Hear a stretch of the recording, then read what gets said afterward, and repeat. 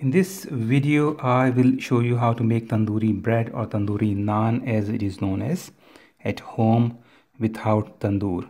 Most people think it is impossible to make tandoori naan without a special oven called tandoor. However, you can see one being made.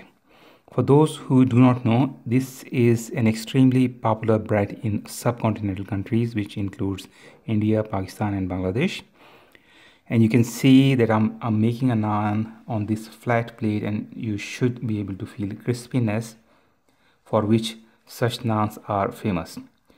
I know most of you are thinking why this bread naan is not falling off and why this is defying all uh, the rules of gravity. In this video, I will not only show you how to make such naans but will also tell you why this is not falling off the hot plate and the reason i'm making this video is that i've seen a lot of videos on youtube where people are trying all sorts of complex and difficult methods to make naan uh, whereas it is something really really simple and i thought i should share my knowledge with you all. So the naan is really crispy and uh, as you can see and will be ready in a few minutes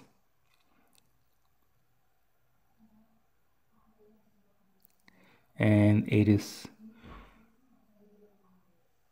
as good as it can be okay. Now it is really difficult to work with one hand but I'm trying to remove the naan. And as you can see uh, it is strongly stick to the uh, plate and the back side is fully cooked as well. And I'm just putting some butter to keep it soft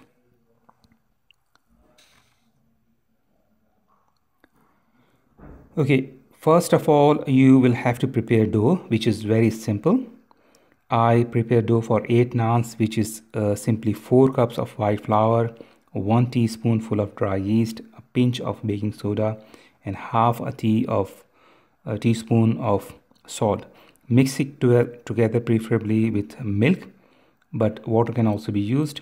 Make sure that the dough is not hard or too runny Cover it up with a cloth and leave it for 4 hours, preferably in a dark place so yeast could do its magic.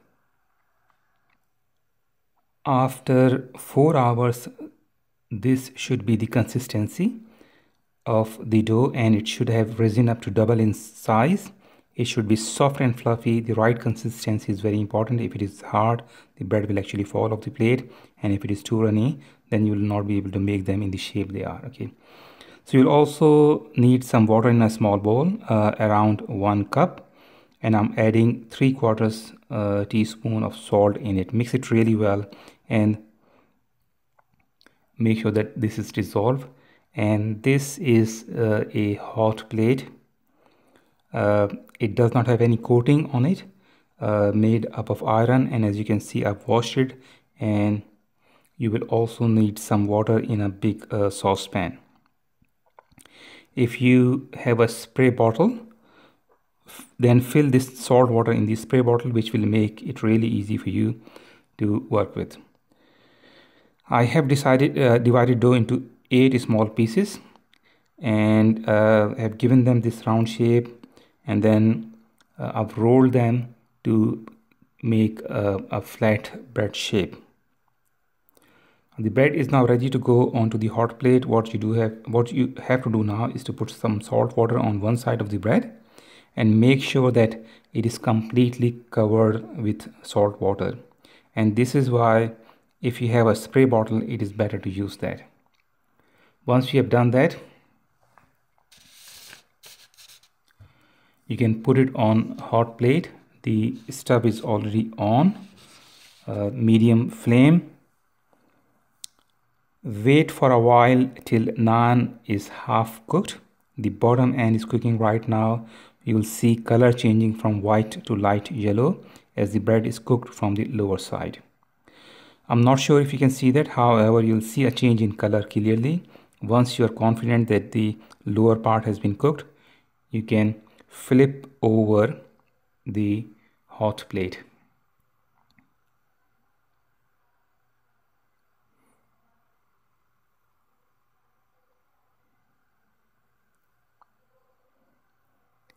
And make sure that your flame is on high now.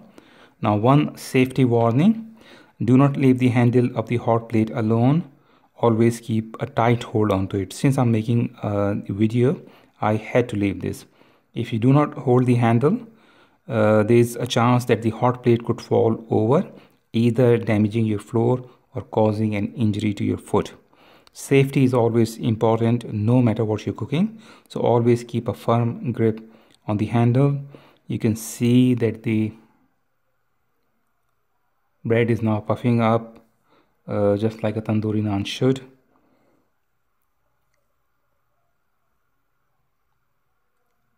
And I'm trying to decrease the light it's really difficult to work with one handle.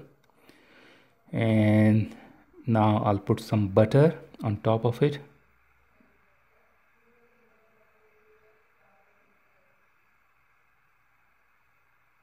And I will decrease the flame again.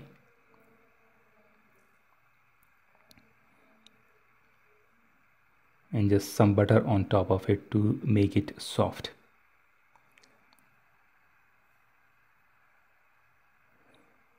Another one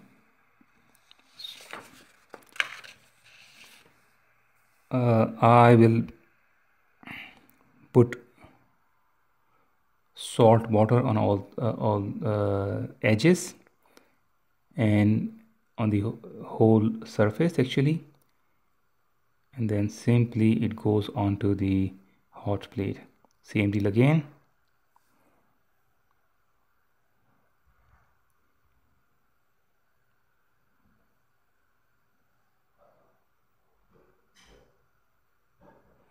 just wait for a while.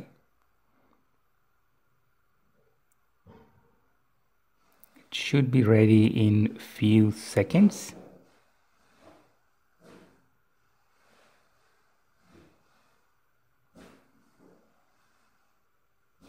You can see the color is changing from sides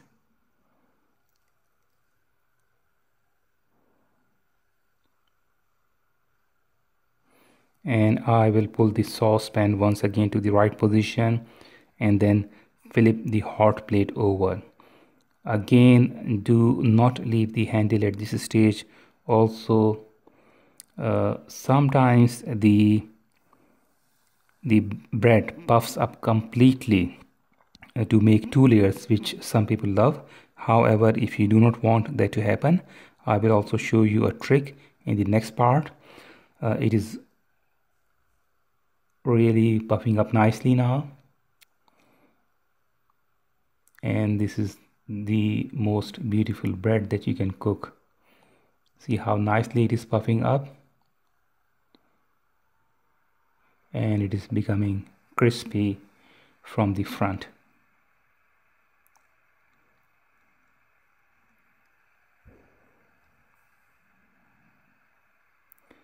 It is completely ready.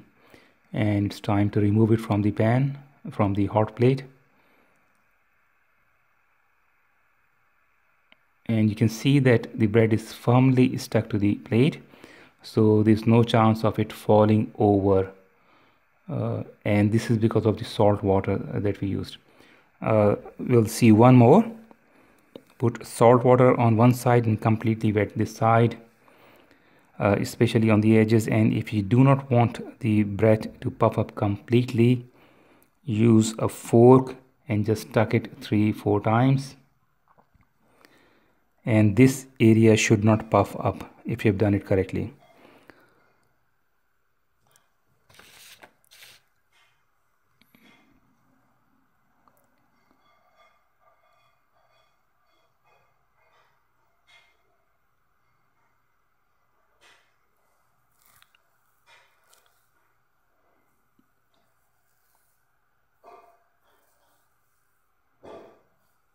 so I've uh, flipped over the hot plate.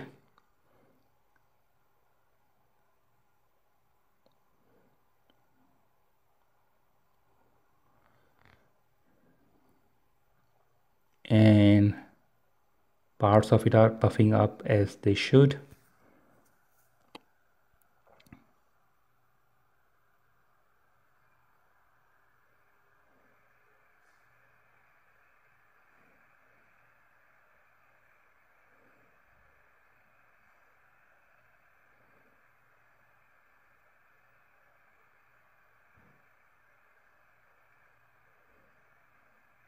coming up nicely.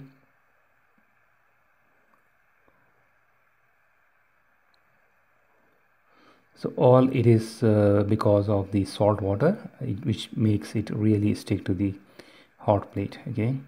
And that's why the bread doesn't fall off. Uh, remove it and I would like to show you the back of it as well so you know that it's not burnt or anything. Very nicely cooked thank you very much. I hope you enjoyed the video. And if you did like it uh, do not forget to subscribe to my channel and give me a thumbs up. Thank you very much